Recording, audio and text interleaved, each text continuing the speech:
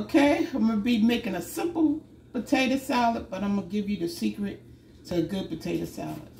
First off, with my eggs, I chop them up like this. It's because a lot of, I, and a lot of people don't like eggs in their potato salad.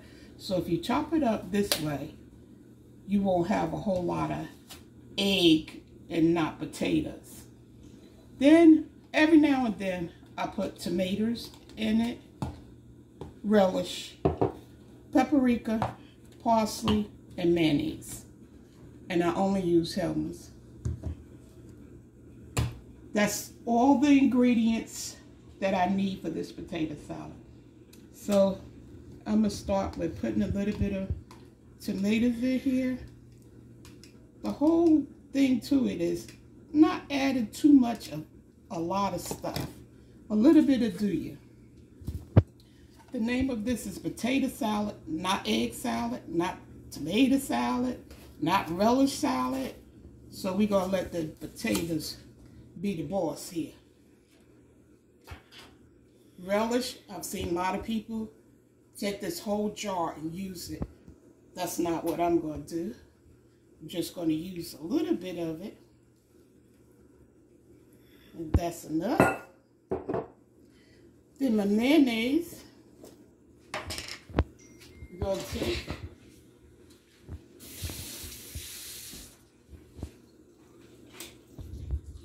same as I said, not a lot of stuff. Just going to make the mayonnaise. And before you keep adding, check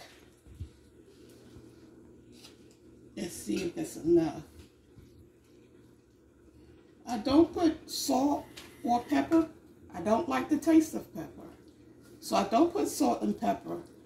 And I already salt, put salt in the potatoes while I was boiling it. And I did add a little bit of salt to the uh, tomatoes because tomatoes is so fresh it needs a little bit of salt. But other than extra salt, I don't add a whole lot of salt tonight. We want this to be potato salad. So we're mixing it good. I will add a little bit of paprika. And I use the smoked paprika. And what the paprika going to do is give it a color. So if you don't want that white looking potato salad, use something to color it. So we're going to use some paprika in here. And I've seen people use a whole lot of paprika. That's going to take away the taste also. So we don't want to overdo any of this stuff. And let the potatoes, like I said, be the boss here. Mix this up well. And every now and then I like to be a little fancy if I'm cooking for other people. Um, I would line my um, bowl with lettuce, a little romaine lettuce, and let it have a little cutesy about it. It's all about presentation, so you have to make sure that these, uh, when you service something, it look good. See, that looks like enough mayonnaise, but I might add a little bit more because mayonnaise have a tendency to when they get cold, it will soak up in the potatoes. Then it will get dry. So I'm going to keep stirring this around all incorporated. I see now that I could add a little bit more um, eggs to it. I had a cousin I was cooking for a family cookout, and she was like, are you going to put eggs in it? I was like, yeah. She was like, please, please don't put no eggs in it.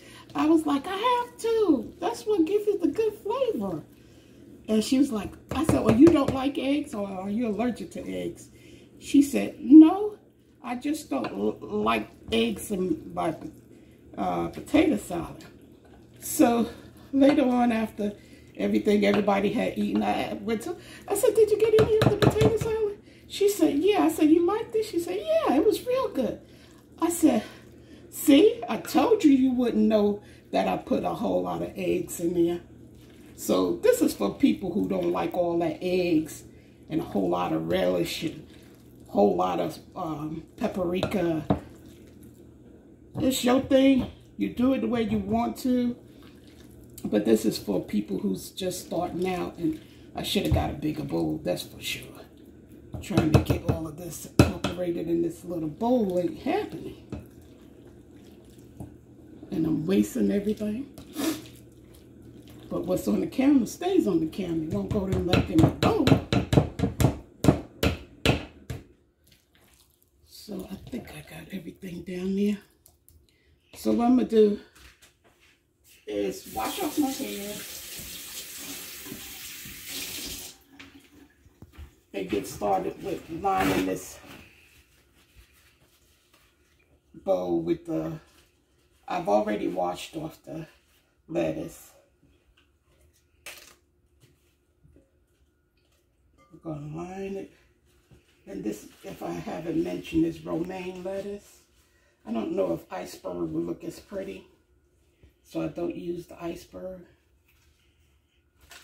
And you'll be surprised that lettuce and potato salad is real good together. Sometimes I like to take the lettuce and put potato salad on it and just eat it like that.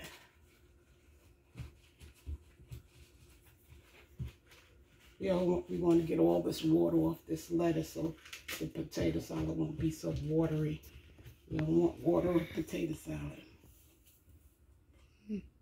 Yeah, we doing. We're getting all of that. And get as much water off of it as you can. So, I think this is enough tomatoes in here. I think it's enough eggs in here. If you like yours eggy, by all means, go ahead and add it all in there. This is, like I said, for people who just don't like the taste of eggs and um, all that other stuff in their potato salad.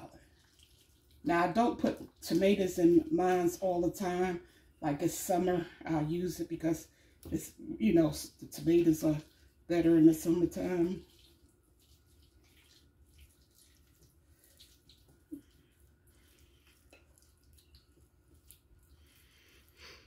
So, getting all of that out of there.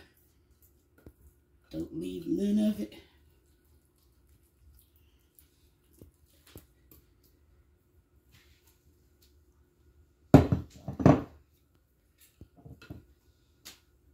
Put that aside. Sorry, y'all. I have to wash my hand a lot. I just don't like my hand being dirty.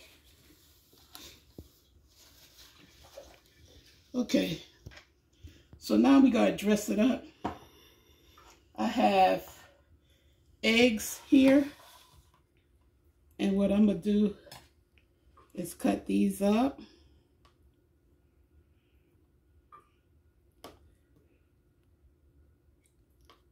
So we got nice little pretty eggs. I don't like the white part of the egg, so if you like the white part, go ahead and put that in.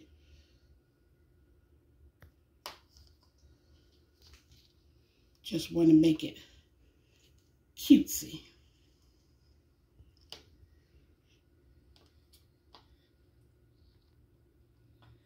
As we cutting the eggs,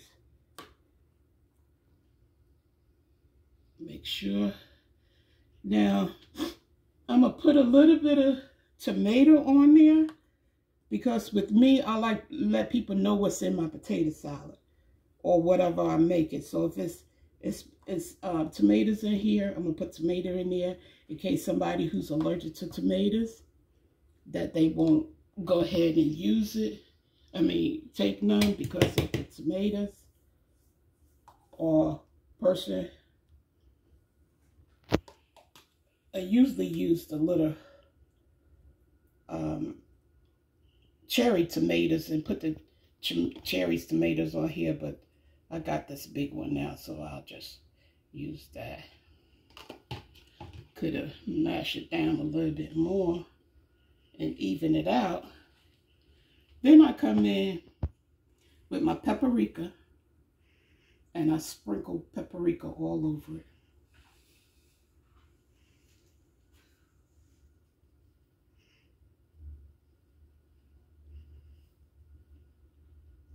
Then I come in with my parsley flakes.